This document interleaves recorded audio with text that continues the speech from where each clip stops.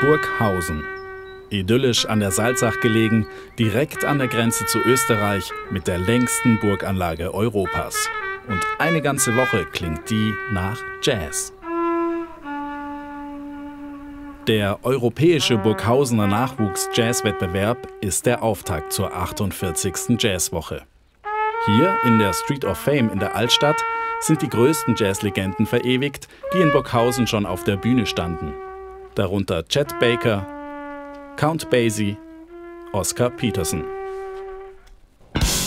Dieses Jahr bewerben sich um einen Platz in der Street of Fame unter anderem die legendäre Blues Brothers Band, Deutschlands Vorzeigetrompeter Till Brönner und Soul-Popstar Joss Stone.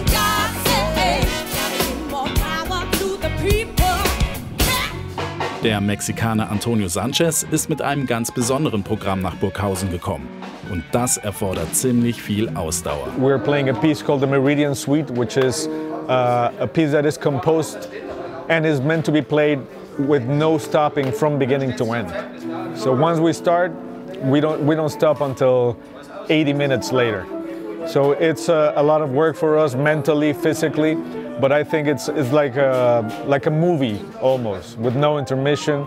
And it's my attempt at writing a musical novel instead of writing short stories where I can develop my, my characters over a long period of time.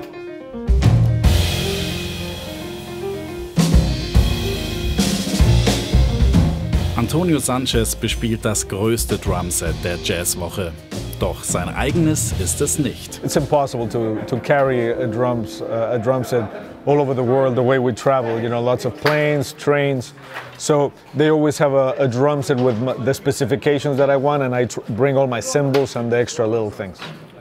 Verantwortlich dafür, dass für alle Musiker die richtigen Instrumente in Burghausen bereitstehen, ist Reiko Lienert mit seiner Verleihfirma aus Sachsen. Die Künstler bestellen, die Veranstalter sagen, okay, die dürfen, die kriegen alles oder sie kriegen nur die Hälfte oder sie kriegen nur das Große, das Geile müssen sie mitbringen. Das ist immer eine Frage des Deals. Im Jazzkeller in der Altstadt klingen die Festivalabende gemütlich aus. Die Hausband spielt Standards, wer möchte kann einsteigen oder mit der eigenen Combo gleich die ganze Bühne übernehmen.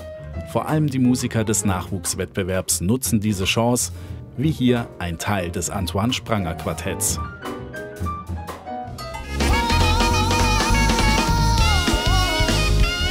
Lakeisha Benjamin steht ebenso am Anfang ihrer Karriere.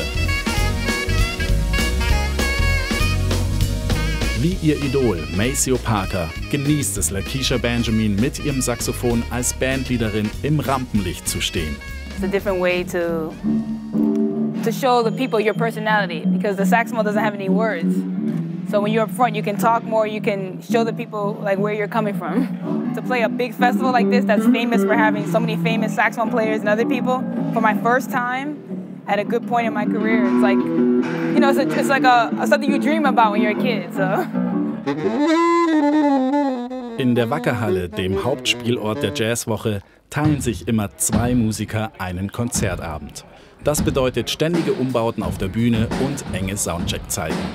Am Freitagabend, der traditionell auf jüngeres Publikum ausgerichtet ist, spielt nach Lakeisha Benjamin der kubanische Pianist Roberto Fonseca.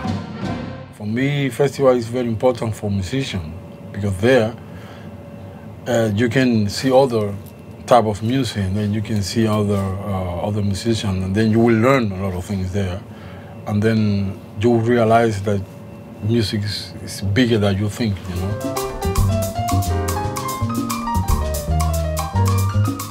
Roberto Fonseca saß am Klavier beim legendären Buena Vista Social Club und bringt kubanische Musik nach Burghausen.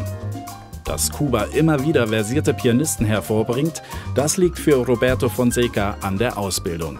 Because we have classical training that give us a lot of skills. And at the same time, we are really rhythmically people. If you combine that, those things, the rhythm and the melody, then you will have a strong and people will respect you, definitely.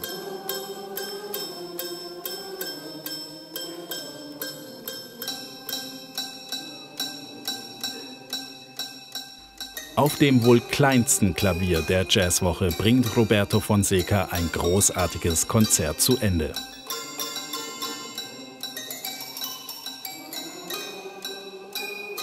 Jazzwoche Burghausen hat in diesem Jahr ganz besonders gezeigt, wie breit gefächert Jazz sein kann.